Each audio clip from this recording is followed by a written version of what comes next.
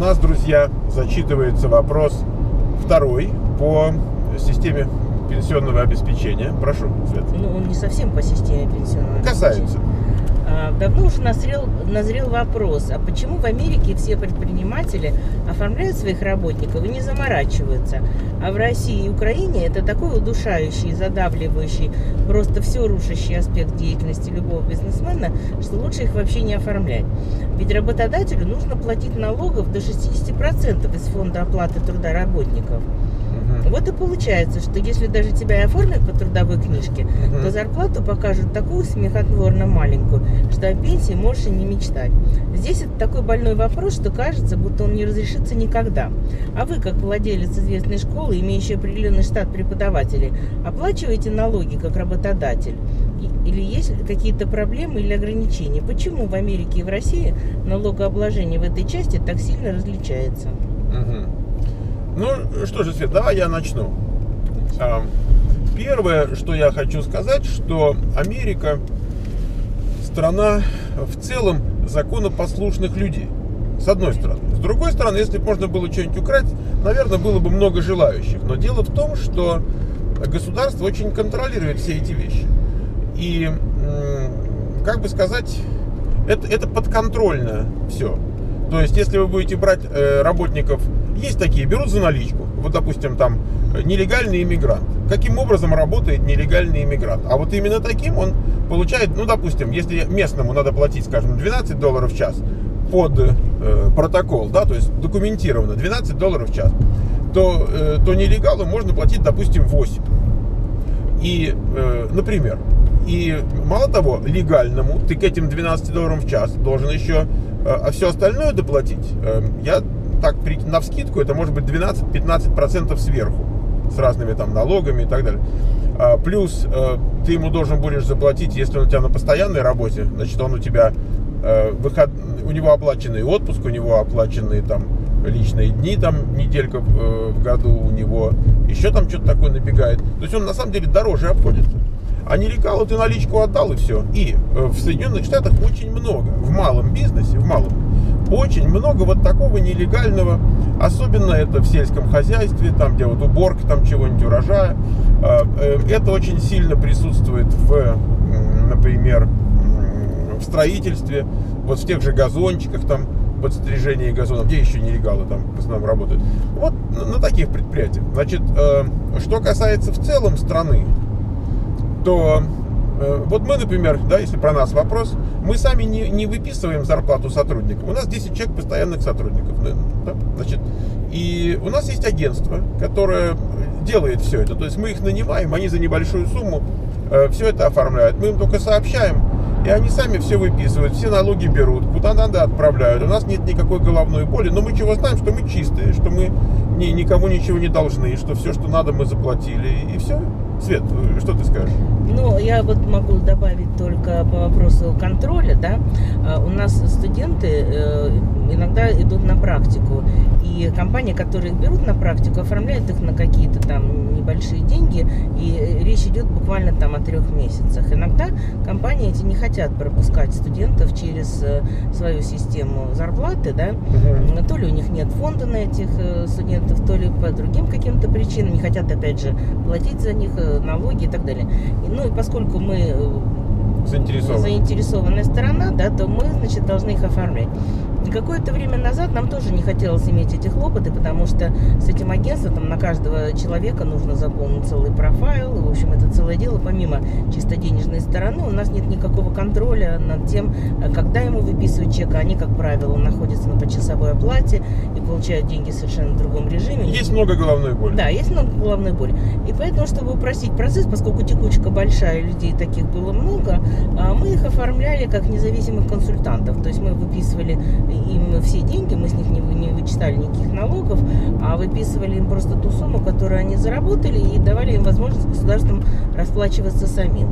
И прошло какое-то время, и государство нам присылает бумагу и говорит, что у вас что-то слишком много получилось консультантов, да, ну-ка просмотрите свои списки, значит, чтобы там э, были действительно люди, которые ведут свой собственный бизнес, они э, являются по определению наемными сотрудниками, а только оформлены консультантами. Мгм. То есть нам пришлось перешерстить все свои, в общем, файлы и так далее, и так далее, и все привести в соответствие, потому что никто не хочет никаких штрафов, никто не хочет никаких неприятностей.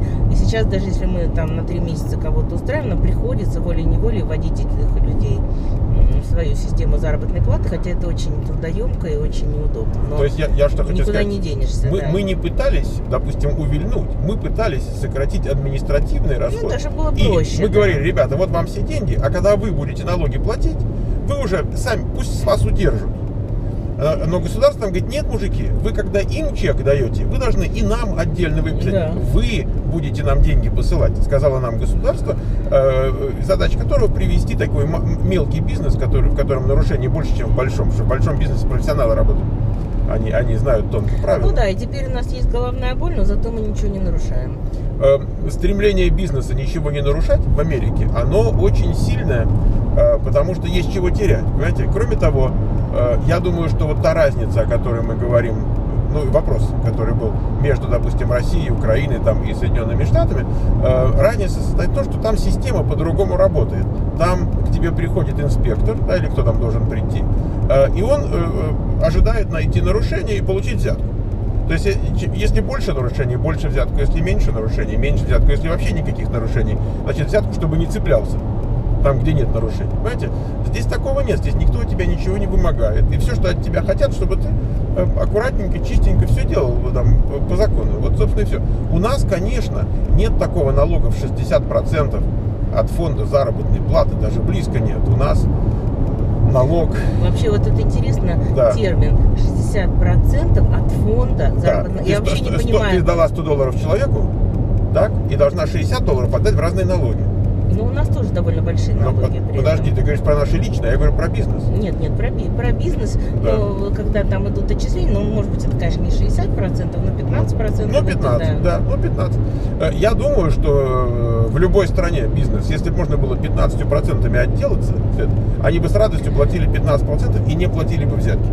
Я, я так думаю. Ну, Уже послушай, процент да. небольшой. Дело в том, что э, устройство э, Штатов, где все, в общем-то, стремится к законопослушанию и к выполнению законов, это прямо противоположно и России, и Украине, где законы созданы таким образом, чтобы их нельзя было бы выполнить, не нарушая. Я думаю, Свет, тут есть другой момент. Эм, Я думаю, что есть некоторая культурная традиция.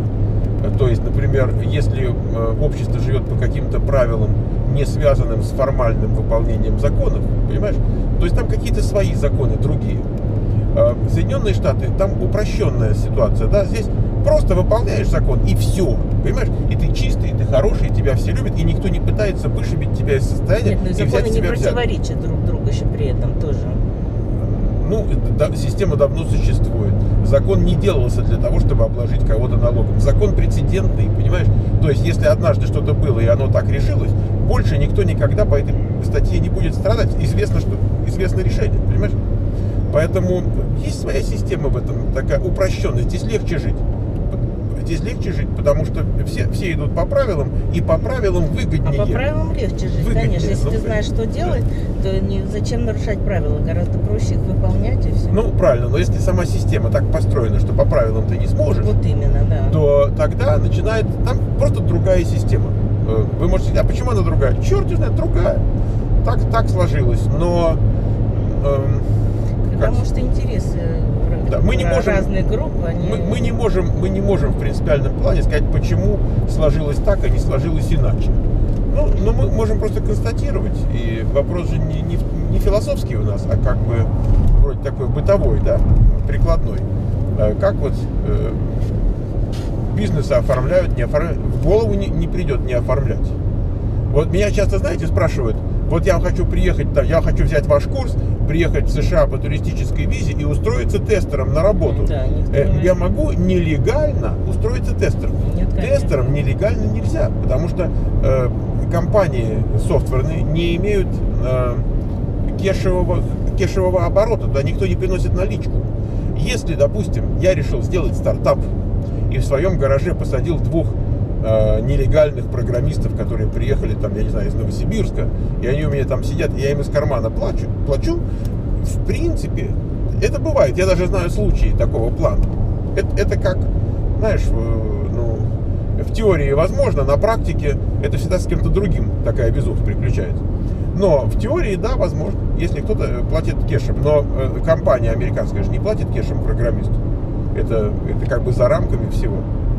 Поэтому, э, если бизнес легитимный, то он так не делает. Но есть очень много, очень много малого бизнеса, не леги... ну как, который не то, что он нелегитимный, но он себе позволяет что-то. Строительство, розница, рестораны, вот как бы кешевый оборот. Вот там, там это, это бывает и в больших количествах. Э, Все, ребят, я думаю, что мы эту тему так более-менее изложили, и мы с вами на этом прощаемся.